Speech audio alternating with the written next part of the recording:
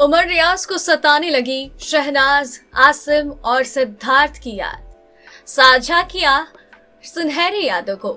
जी हाँ दरअसल live feed में आप देख सकते हैं कि उमर रियाज यहाँ मौजूद है। तो साथ ही में घर में माहौल भी कुछ बदला नज़र आ रहा है। खूबसूरत शाही वहाँ पर जैज मौजूद है। बढ़िया सुंदर तरीके का पंडाल लगाया गया है। घर वालों के मन में सिर्फ़ एक ही सवाल है कि क्या होगा? क्यों इतनी सुंदर तैयारियाँ की गई है? तो उमर रियाज ये सब देखने के बाद राखी सावंत से बातचीत करते नज़र आते हैं कि ये सब बिल्कुल डिट्टो सेम लगाया गया था सीज़न थर्टीन में। शहनाज गिल का स्वयंवर था। सिद्धार्थ और पारस के बीच में हुई थी कॉम्पिटिशन की कौन शहनाज के साथ शादी करेगा? और रश्मि उसकी माँ बनी थी, बाहू भी थे और आसिम और सिद्धार्थ भाई बने थे। यार, बहुत ही ज़्यादा कमाल का था और शहनाज ने उसको बहुत ज़्यादा एंटरटेनिंग बनाया था, जिस तरीके से उसने फ्लिप किया।